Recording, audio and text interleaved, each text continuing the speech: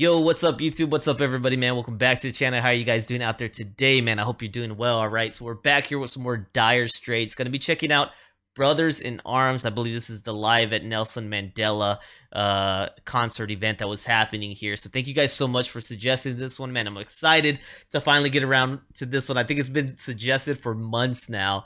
Uh, so I know I've been hitting up multiple Dire Straits, but I haven't got around to Brothers in Arms because there's just a lot of music uh, recommended and uh, suggested from Dire Straits. So in no particular order have I got to run around to them, but we're finally here at Brothers in Arms, guys. So I'm excited to check this one out, man. Hopefully it's the right video. They all look about the same length.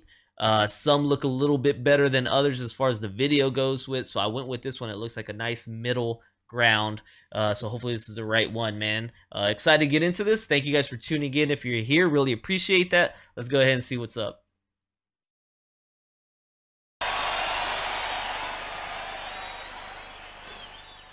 This one is really for the, the gentleman in question this evening. Best birthday party we've ever been to. Thanks for having us.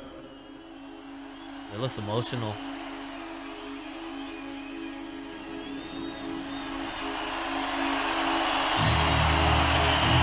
One humanity. One justice. Oh yeah, Mark's move, man.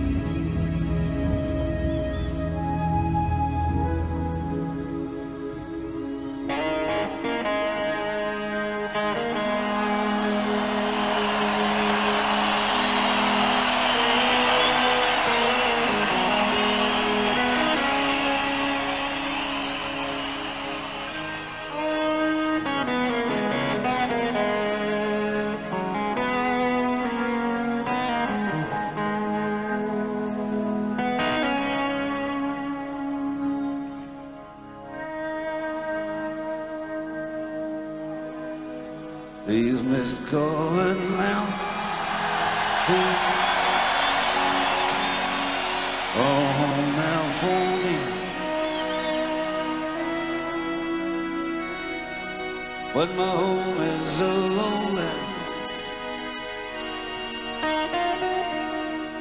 And always will be.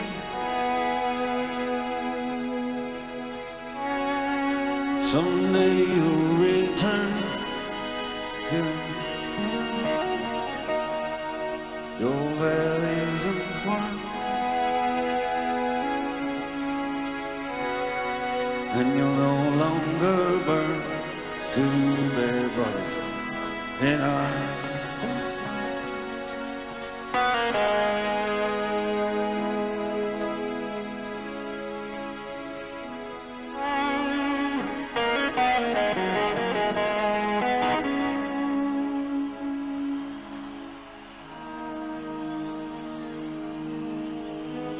Through these fields of destruction.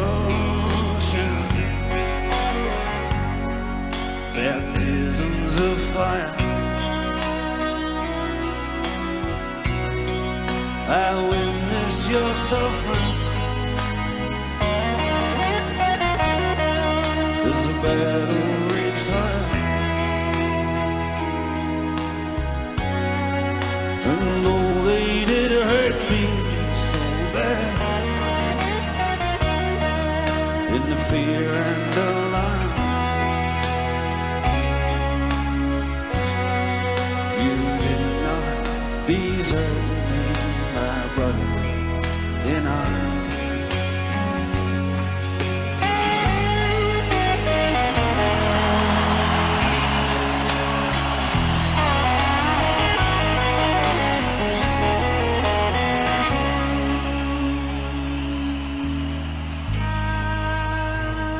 Plays guitar like Mark, man. Nobody. There's so many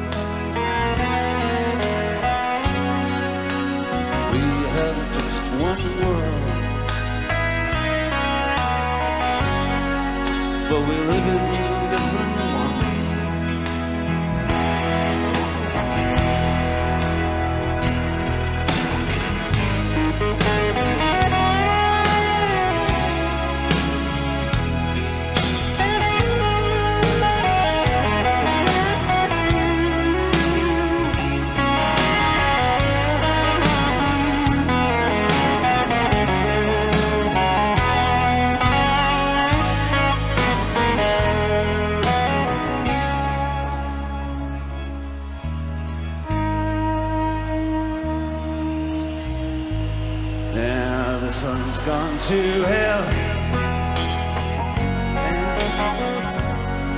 You got the moon riding high.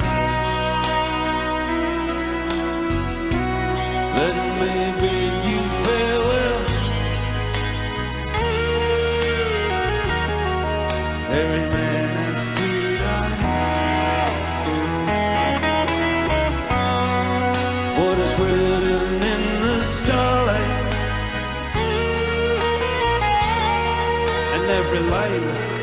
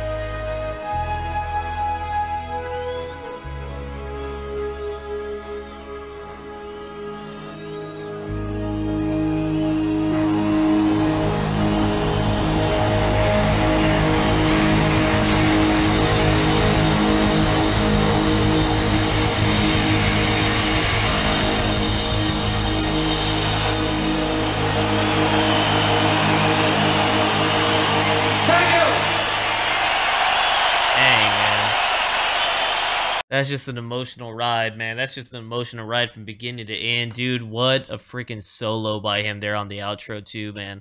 Um, I just I love Mark Knopfler, man. I love, love Mark Knopfler. Love Dire Straits. Uh, great sound, man. Great sound right here. I want to look into Brothers in Arms. All right, so we've got Brothers in Arms right here, released in 1985. Man, it's uh, classified rock, blues rock. Uh, the full length version is six minutes fifty eight seconds. So we just got a video that was almost eight and a half minutes long.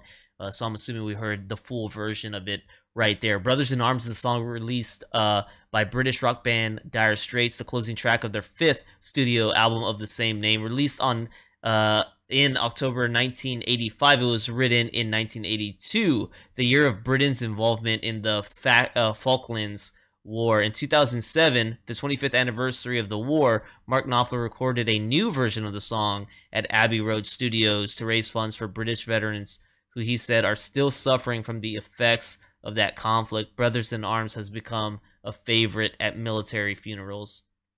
Um, it says the song is written, of course, about the Falklands War and is described by some as an anti war song. So it says that this war was a 10 week war undeclared it was a, a 10 week undeclared war between Argentina and the United Kingdom in 1982 over two British uh, dependent territories in the South Atlantic, the Falklands Islands, and its territorial dependency, South Georgia and the South Sandwich Islands. All right, so there we go with that one, man. Um, just another strong anti-war song. If you uh, get it that way, of course, you know some of the some of the words. I mean, Mark used right here. I gotta I gotta show you. Just on the opening verse, you know, the mist covered mountains are a new home uh, our home now for me, but my home is in the lowlands and always will be. Someday you'll return to your valleys and farms and, you know, no, no longer burn to be brothers in arms, man. And it's uh, interesting to think about when you join the military or whatever. Uh, for me, it was the military. You have people of all diversities, different backgrounds, some city life, some rural area, some swamplands, you know, just different ways of life. And you're all joined together in this band of brotherhood. Um, you're willing to die for each other because you might have to someday and uh, you gain these bonds. But like he's saying, someday you'll go back. I guess uh, the unfortunate part is some days you you'll go back, but you won't be who you were most times. Or sometimes if you've seen conflict and war, you left there with one mindset, and you come back a totally changed person. A lot of times a scarred person. Uh, that can't ever reclaim who they used to be. Uh, that part of you is pretty much gone uh, once you've had changes done to you uh, that you can't undo and see. So through these fields of destruction, bapti- uh, baptisms by fire. Okay, you're you're you're being baptized in war, man. You're going out there and you're seeing things that you shouldn't ever have to see, and be a part of things you should never have to be a part of.